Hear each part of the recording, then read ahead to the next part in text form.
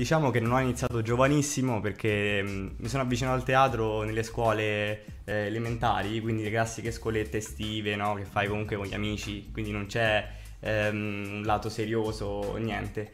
Poi ehm, mi è piaciuto t- da morire e ho continuato eh, al liceo con una scuola di teatro di improvvisazione. Ah, cosa vedi? che, cosa che esatto per me era una cosa nuovissima, cioè per me il teatro era una cosa da copione, molto statica, invece scoprendo l'improvvisazione mi sono innamorato perché eh, è come se quando le cose non le sai eh, e le vai a dire mh, diciamo eh, senza copione appo- eh, apposta. A braccio proprio, a braccio.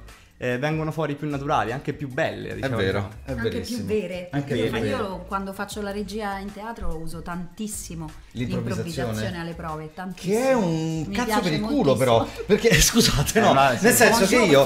Nel senso che io che faccio Io che faccio doppiaggio da quando ero ragazzino E che quando mi sono messo a fare teatro Ho lasciato perdere Ho detto fatelo voi che siete più bravi Eh, No perché è vero Perché poi uno deve anche ammettere Di quanto so pippa E lasciar, lasciar perdere Certo. Il problema mio era quello della memoria E di eh, riuscire a lavorare Senza avere un eh, testo davanti Che è quello che è un po' il vizio di- del doppiatore Certo, no? Che io certo. non mi muovo senza un testo. Poi noi siamo bravi a fare la gincana nel testo. Sì, sì, eh, sì. Però quindi tu vai più con l'improvvisazione, ti piace di più? Da morire. Perché no. vengono fuori delle cose interessantissime. Proprio che magari non verrebbero fuori in Esatto. altre occasioni. Cioè la situazione è quella, è la stessa della scena che tu devi provare, però improvvisaci sopra. E vengono fuori delle cose talmente interessanti che io le rubo anche. Eh, esatto. Eh, no, giusto, le, le riesci a fissare, è quella è la cosa bella, che le riesci a fissarle. sì. Certo. Allora, Matteo, io ti consegno Ah. questo testo che abbiamo, eh, come dico sempre, al doppiaggio Giorgia si, mm, eh, fa, si- è improvvisazione praticamente,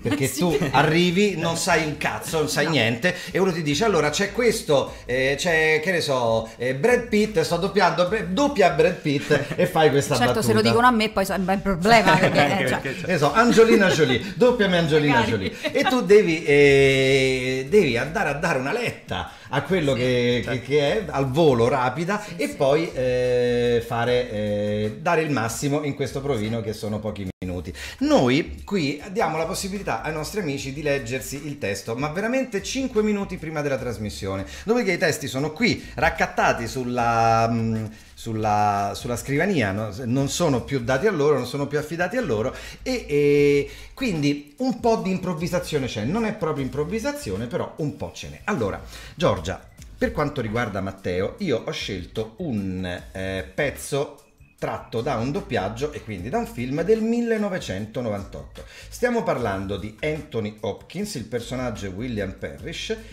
E da chi è doppiato nella versione originale? ah, uno proprio Dall'ultimo arrivato? dall'ultimo arrivato. Dario Dall'ultimo Penne. arrivato. Da Dariaccio. da Dariaccio Penne che salutiamo. Ciao, Un applauso Dario. veramente Dario, grandissimo. E allora io sono qui per eh, lasciare a te il microfono, lasciare a te il video e eh, ti metto anche una base un po' più eh, tranquilla, un po' più Romantica. romantica, diciamo, ti metto un satì, guarda. E allora, signore e signori, iniziamo la trasmissione di, di questa sera. Lui è Matteo Carbone e eh, reciterà un monologo di Anthony Hopkins dal film Vi presento Joe Black. Voglio che qualcuno ti travolga. Voglio che tu leviti. Voglio che tu canti con rapimento e danzi con un derviscio. Sì, abbi una felicità delirante, o almeno non respingerla. Lo so che ti suona smelato, ma l'amore è passione, ossessione, qualcuno senza cui non vivi. Io ti dico, buttati a capofitto, trova qualcuno da amare alla follia e che ti ami alla stessa maniera. Come trovarlo? Beh, dimentica il cervello e ascolta il cuore. Io non sento il tuo cuore, perché la verità, tesoro, è che non ha senso vivere se manca questo. Fare il viaggio e non innamorarsi profondamente equivale a non vivere, ma devi tentare, perché se non hai tentato non hai mai vissuto. Non respingere chi lo sa, esiste il colpo di fulmine.